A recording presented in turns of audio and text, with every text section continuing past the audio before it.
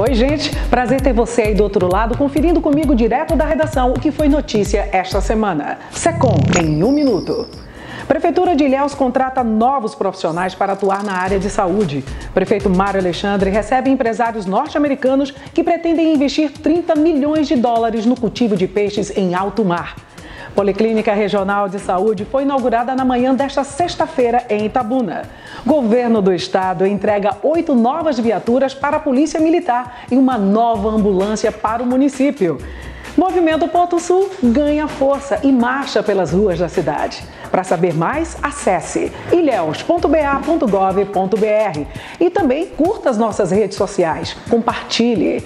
Um ótimo final de semana e até a próxima sexta. Tchau!